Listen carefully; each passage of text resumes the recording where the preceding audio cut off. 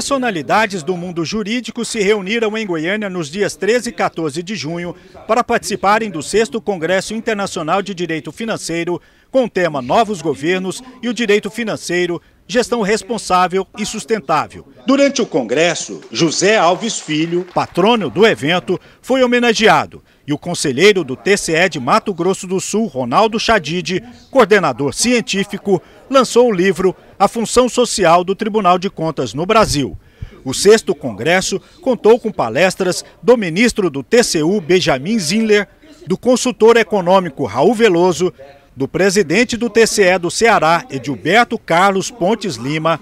do conselheiro do TCE de Pernambuco, Valdeci Fernandes Pascoal, do desembargador do TRF Marcos Abraão, do professor da Faculdade de Direito Constitucional na Espanha, Juan Fernando Duran, do juiz do TRT, Francisco Jucá, da secretária de Economia de Goiás, Cristiane Schmidt, do juiz federal Leonardo Buissa, além de painéis de debates e homenagens, com as presenças do professor da USP, José Maurício Conte, do ministro substituto do TCU, Weder Oliveira, conselheira do TCE do Tocantins, Doris Miranda Coutinho, e do doutor em Direito Econômico e Financeiro da USP, Gabriel Loreto. Trabalhos científicos também foram apresentados. Tudo que é divulgado na imprensa sobre ah, o déficit do regime próprio da União e o déficit dos regimes próprios dos Estados devem ser vistos com muita cautela. É aquele que busca a realização de resultados, é aquele que busca a qualidade, a excelência,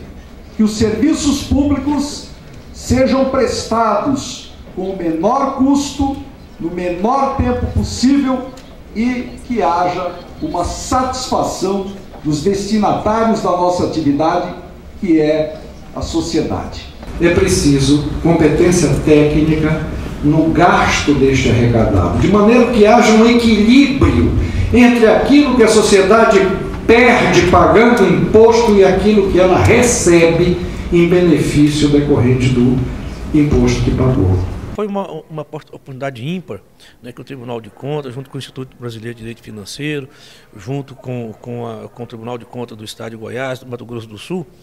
de oportunizar para que as pessoas pudessem é, levar daqui conhecimento. Tudo isso vem somar aquilo que nós estamos discutindo no dia a dia, que é melhorar cada vez mais a situação fiscal, não só dos estados ou, ou da nação, como também dos municípios. O sexto Congresso Internacional de Direito Financeiro foi realizado pela Academia Sul-Mato Grossense de Direito Público, Faculdade Especializada em Direito de São Paulo, FADISP, Tribunal de Contas dos Municípios do Estado de Goiás, Sociedade Paulista de Direito Financeiro, Tribunal de Contas do Estado de Mato Grosso do Sul,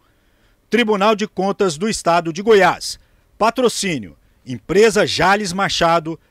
Cicobi Crediju, Instituto de Direito Administrativo de Goiás, Grupo José Alves, Associação Brasileira Pro Desenvolvimento Regional Sustentável, Adial Brasil, Centro Universitário Alves Faria, Unialfa, Instituto Rui Barbosa. Apoio: Governo do Estado de Goiás, Abracom, Atricom, Instituto Goiano de Direito,